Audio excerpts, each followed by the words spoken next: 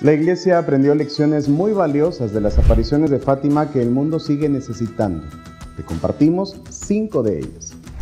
El 13 de mayo es el día de la fiesta de Nuestra Señora de Fátima. Ese día se celebra la primera de las apariciones de María a tres pastores portugueses en 1917. Primera lección.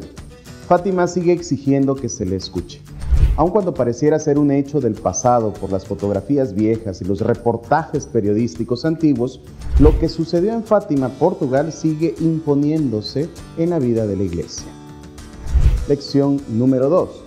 La fidelidad es más importante que el bienestar.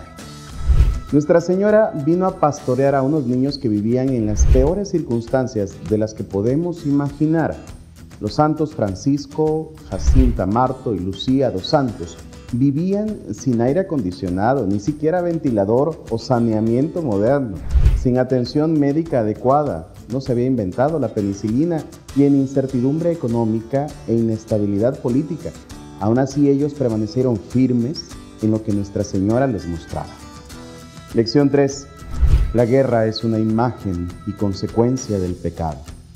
En un terrible día de julio, los niños pastores recibieron una dura lección sobre las realidades de la vida. Nuestra Señora les mostró cómo es el infierno y advirtió sobre una guerra si el pecado continúa. Debemos entender que los seres humanos estamos hechos a imagen y semejanza de Dios y cuando nos faltamos el respeto unos a otros y a nosotros mismos, no respetamos a Dios. Lección 4. Dios nos está esperando. Es fácil hacerse una idea equivocada sobre Fátima. Los niños oyen cómo Dios está muy ofendido por nosotros y quiere penitencia, penitencia, penitencia. Pero hay que entender esto de la siguiente manera. Cuando una madre ve a los niños faltarle el respeto a su padre y destruir las cosas que él les dio, debería decir exactamente lo que Nuestra Señora de Fátima le dijo al mundo en 1917 comportamiento no es solo desobediencia, es un rechazo desgarrador del amor. Dios ama al hombre y su amor nos reconcilia a todos, por lo que su madre nos insta a volver con él. Y lección 5. La oración familiar puede cambiar el mundo. Esto es algo que los niños saben instintivamente, pero que a menudo conduce a un activismo fuera de lugar.